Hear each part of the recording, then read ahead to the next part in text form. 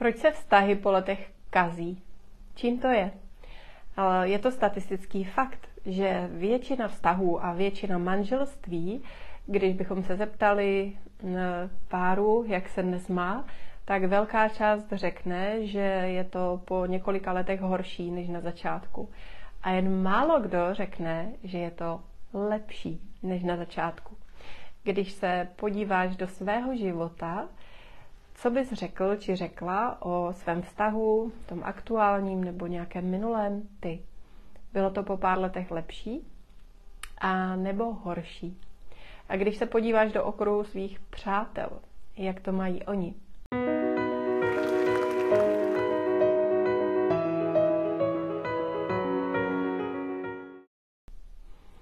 Když někdo řekne, že je to dnes lepší než na začátku, tak gratuluju, protože je to statistická výjimka.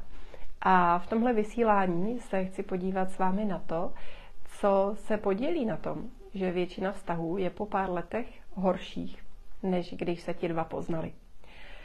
Velký podíl na tom má několik faktorů. Tak za prvé, když jsme na začátku vztahu, žijeme spolu většinou jinak než po pár letech. A teď nemyslím pouze tu vnější realitu, i když ta samozřejmě hraje velkou roli. Když se poznáte, tak eh, ještě nemáte spolu děti. Možná máte děti z předchozího vztahu, ale možná se potkáváte bez dětí a máte celý svůj život a celé své dny hlavně pro sebe. A to pochopitelně hraje velkou roli. Ale není to jenom o tom. Je to i o tom, co děláme a co neděláme. Většinou na začátku vztahu dáváme tomu druhému obrovské množství naší lásky plné pozornosti. A to jak v přímém kontaktu, tak i na dálku. I když s tím druhým nejsme, tak na něj či na ní zpravidla myslíme. V tom nejlepším možném smyslu. Věnujeme mu nebo jí krásné myšlenky plné lásky. A i tenhle vztah na dálku v naší představě se pak propisuje do pocitu, jak my se cítíme, ale současně i jak se cítíme ve vztahu, jak se cítí ten druhý a jak se cítíme spolu navzájem. No a když jsme spolu, tak tam většinou obrovskou roli hraje přítomnost. Povídáme si a nasloucháme jeden druhému. Upřímně se o něj či o ní zajímáme. O jeho názory, o jeho prožitky, o jeho vzpomínky. Děláme spoustu krásných věcí. A na začátku vztahu často chodíme na procházky, do kina, na lodičku, objevujeme nějaké nové věci, zkrátka si dopřáváme spoustu krásných zážitků. A to může být i jenom neděle ráno v posteli, nebo e, společná snídaně a, a mnoho dalších, i třeba maličkostí, kterým ale dáváme speciální péči a pozornost. A tohle se po určité době obrovským způsobem ztrácí, kdy se naše pozornost přesune do toho vnějšího světa.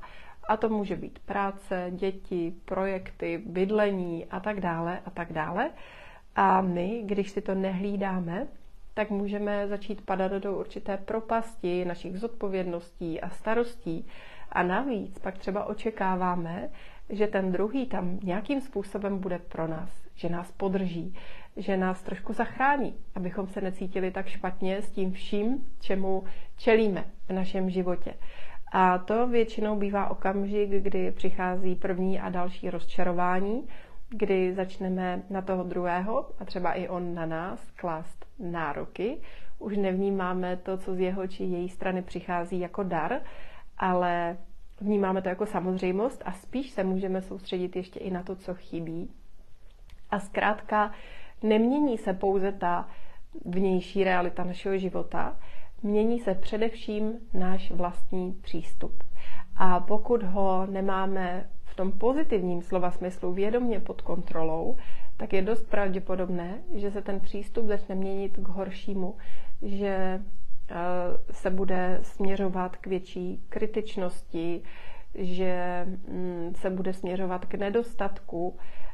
Dalo by se říct, že je to i mm, taková tendence naší lidské mysli nejenom ve vztazích, ale i v dalších oblastech života, soustředit se na to, co kde hrozí a čemu se potřebujeme vyvarovat.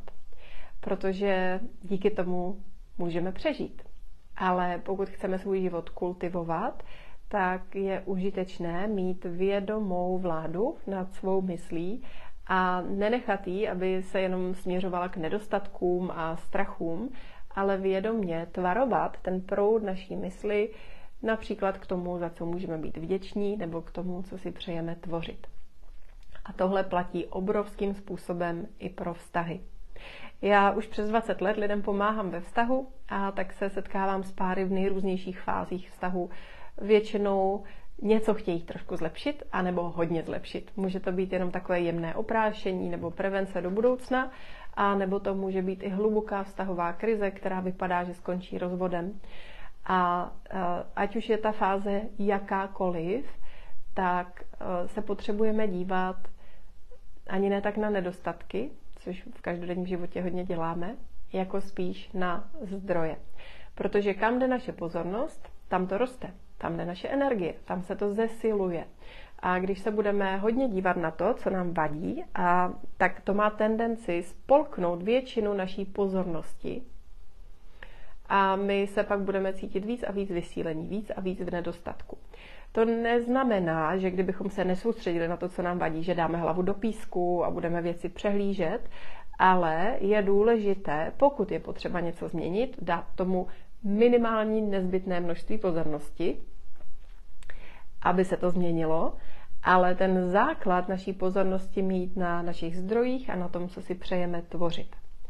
Protože jinak se budeme vysilovat. Jo? Když se budeme dívat, co v našem životě chybí, co u partnera nebo partnerky chybí, tak je dost pravděpodobné, že si stoupneme do takové spirály, která jde dolů, kde je nám hůř a hůř.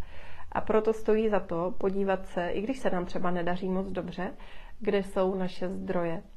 A často, i když si myslíme, že se máme špatně a v tom našem životě nic hezkého nepřichází, tak když se dáme trošku práce, tak eh, najdeme spoustu věcí, za které můžeme být vděční. A nezřídka i v tom vztahu. Pokud to není vztah, který je vyloženě toxický a, a pro vás bude zdravé z toho vztahu vystoupit. Ale většina vztahových krizí není o tom, že bychom byli ve vztahu s manipulátorem nebo uh, že by tam byla nějaká toxicita, ale spíš to jsou takové ty běžné záležitosti v naší komunikaci a v našich postojích. Takže jeden z kroků je začít se dívat na zdroje a na to, co už ve vztahu máme a co už v tom druhém máme, i co máme v našem životě. Další důležitý krok je, že se díváme na to, co chceme tvořit a co si přejeme, jakou vztahovou realitu si přejeme vytvořit mezi sebou. No a proto pak potřebujeme dělat i kroky. A to nejlépe funguje, když převezmeme v duchu, ideálně každý, sám za sebe, ale minimálně jeden ve vztahu, když převezmeme 100% zodpovědnost za to, co se ve vztahu děje sami na sebe. A tohle může znít nelogicky, protože si můžeme říkat, že ve vztahu jsou vždycky dva, je to 50-50, jenže když já budu čekat na to, že ten druhý uchopí tu svoji půlku, tak pravděpodobně neudělám nic.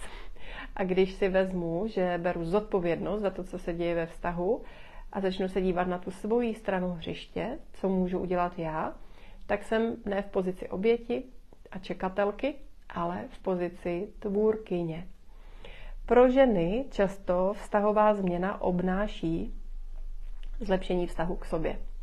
A někdy, že nám pomůže takový, jako kdyby trik, eh, že si představím, že s tím partnerem třeba už nejsem, a tak co mi zbývá? Podívám se, co můžu udělat, aby mi bylo v životě dobře. A začnu se starat o sebe. I když třeba nemám nejlepší podmínky, tak si je začnu aktivně tvořit. A musím říct, že když tohle žena udělá a jakoby přestane napravovat vztah a napravovat partnera a jeho chování a začne se samostatně věnovat tomu, že pečuje o sebe a o svou náladu, o své pocity, o svoje tělo a dělá maximum pro to, aby jí bylo dobře v životě, tak tohle je jak elixír lásky do vztahu. Protože spolu s tím, jak žena sama sebe zazdrojuje a rozkvete, tak začne kvést i ten partnerský vztah v drtivé většině případů. A pokud mi nevěříš, tak to vyzkoušej. Co se týká mužů, um,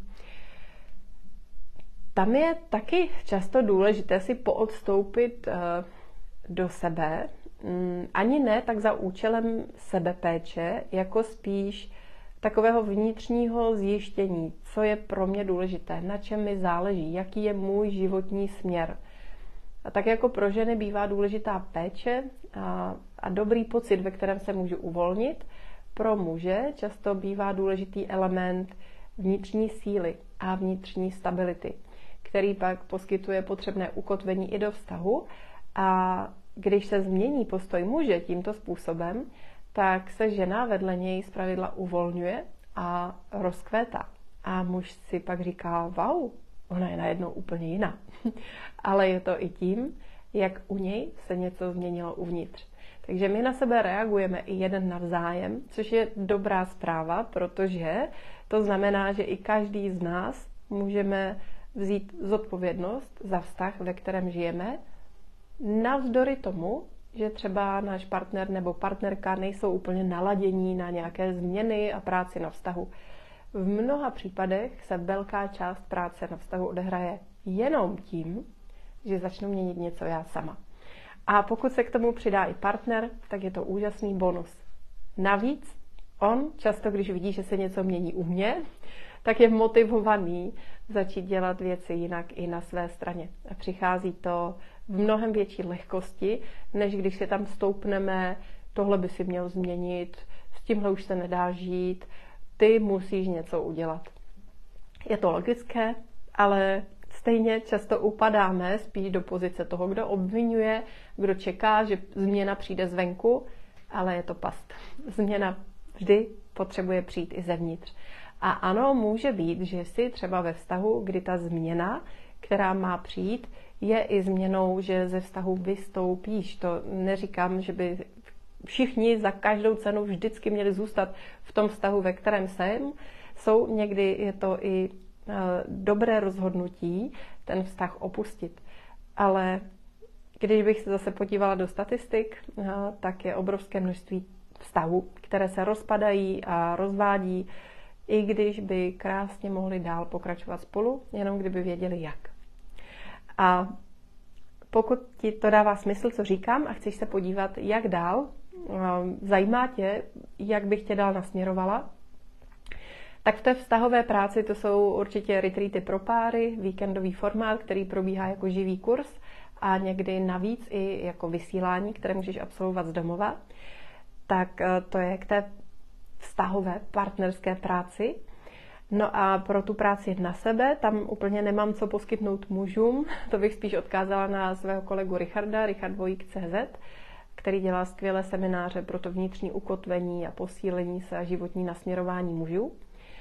Ale pro ženy eh, mám pozvánku do online kurzu Láska je tvůj zdroj, který je takovou alfou a omegou pro dobré naladění se v sobě, pro vnitřní zazdrojování, pro vnitřní ukotvení, pro uvolnění se v životě. A to pak mění celé naše uvažování, prožívání i vyzařování a tím pádem i okolnosti našeho života, včetně vztahu